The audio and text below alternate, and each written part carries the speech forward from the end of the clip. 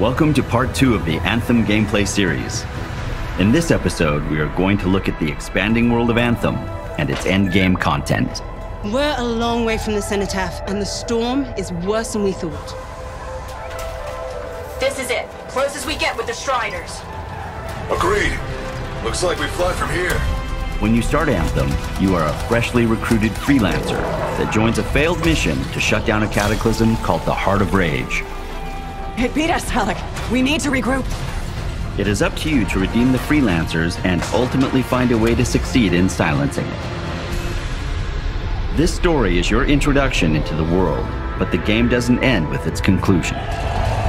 The most dedicated freelancers will push themselves against tougher and tougher challenges, taking on more daring and deadly quests. In order to do this, you will have to improve not only yourself, but your arsenal of javelins. This is where your path to glory begins. As you continue to level up and become a more powerful pilot, new content and challenges will become available to you. With six modes of difficulty, including three which are unlocked in Endgame, Anthem will have a challenge for all levels of players, from easy to Grandmaster 3. The higher the difficulty, the better the chances you will have in finding the rarest gear and personalization items in the game. When you want to make a statement, maybe polish that javelin up with a nice coat of pain and thunder. What's the use of being the best pilot in Bastion if your style doesn't match your power? From greeting friends in our social hub, the launch bay, to how you arrive on missions or celebrate your victories, we give you lots of opportunity to show off your javelin style. Each suit has many ways to get it looking just the way you want, from unique armor pieces, customizing color and textures, to collecting vinyls and emotes. Your suit will soon become a reflection of yourself, making your wins all the more glorious. Once you reach the pilot level of 30, you will continue to improve your javelins by finding or crafting the rarest gear. That's where our endgame content really begins for you. At this point, you have likely finished the core story mission and your focus will begin to shift to new objectives. These are challenges, contracts, free play, and strongholds. Matthias Sumner was investigating some relics at a ruin near the fort. I need you to find him and bring him back home safe. People you meet in Fort Tarsis will sometimes need your help and offer you contracts. These are unpredictable missions in which you deal with various problems in the world. By increasing your reputation with different groups, you'll gain access to crafting blueprints. Doing daily, weekly, and monthly challenges will provide you crafting material and coin. This is a great way to make not only new gear, but further personalize your javelins. On occasion, people will offer you legendary contracts. Hello, hello, hello. These missions have multiple parts to them and are far more difficult to complete. In this case, Matthias Sumner, an Arcanist, hires you to not only provide valuable field research, but also stop a Dominion plot to wake a Titan.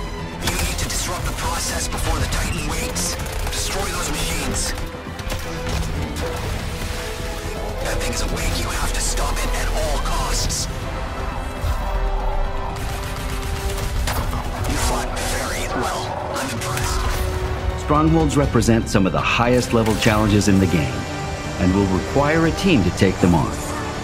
These typically are longer challenges that will test all that you have learned as a freelancer. Whether or not your javelins can withstand the deadliest enemies in the world. Plan well, communicate with your team, and you will benefit from some of the most rewarding loot Anthem has to offer.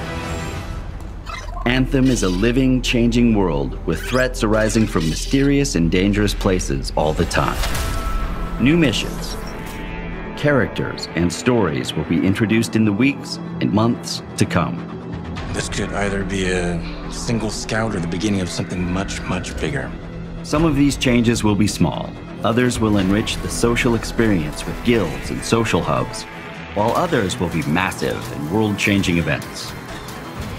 Everything you will have done in the game is preparing you for what is about to come. Our most ambitious and challenging content will come to Anthem in the form of cataclysms. Time limited world events that cause physical manifestations to occur. Extreme weather, incursions of dangerous hostile enemies, and new mysteries to solve. The story of Anthem has just begun. What might have seemed impossible when you were a fresh recruit will challenge you to new heights as you build your arsenal of javelins and unleash your power. Strong alone, stronger together, right? Ah, who told you that?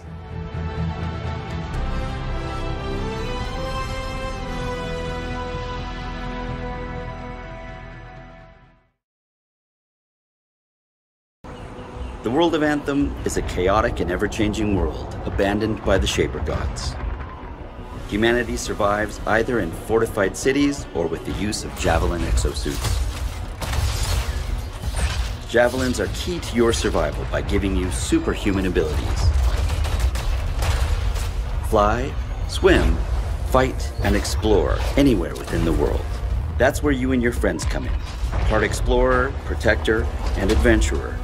You are an elite group of pilots called freelancers that are sworn to protect humanity and uncover the mysteries of the world. In the world, the dangers all stem from one mysterious power. The anthem of creation is everything. To control it is everything. Uh, okay, but what could he even do with it? What could he do with the power of life and death, creation and destruction? He would be a god. Imagine all the good that we could do. We decide what's best for the world. The power of pure creation at our fingertips. Your story begins in the middle of this conflict. It will be up to you to head out on missions, silence Shaper ruins, confront enemy factions, and most importantly, ensure that the Dominion do not get their hands on the Anthem of Creation.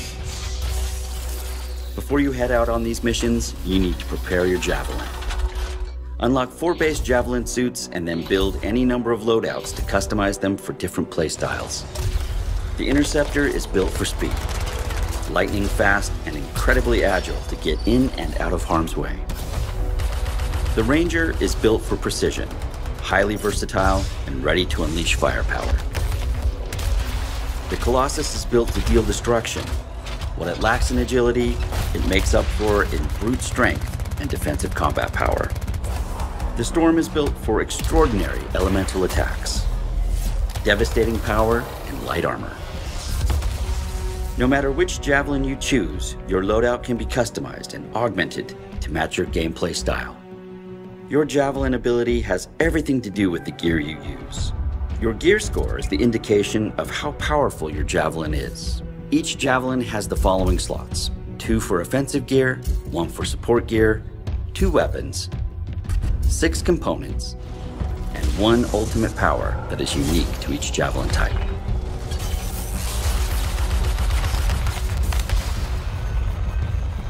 In this case, we have four loadouts ready to go for the Ranger. Each one I've set up for different playstyles. Let's have a look at my team support specialist.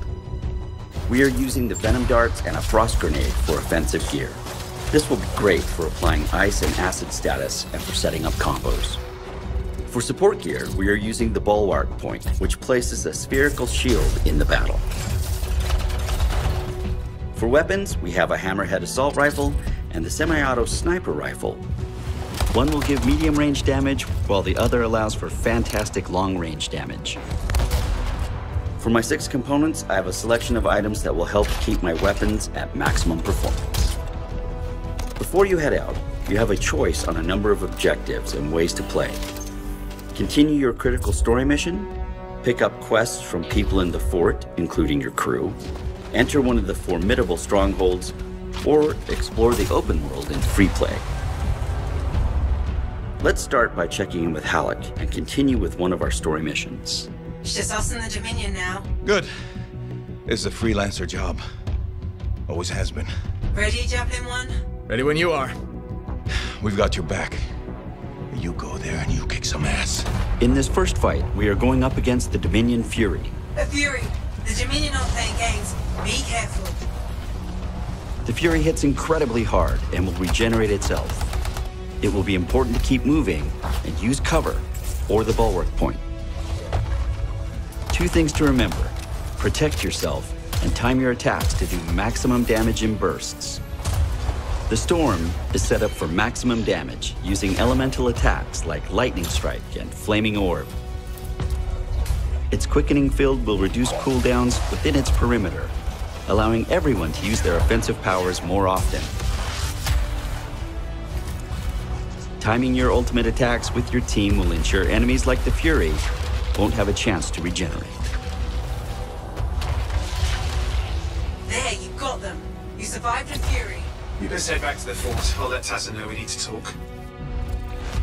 At the end of each mission, head back to the fort. Collect your loot, customize your javelin, pick a new suit, and head out for more. This time, let's enter free play. In free play, the map is open to you to explore the way you want, head in any direction, and discover endless activities and receive missions along the way.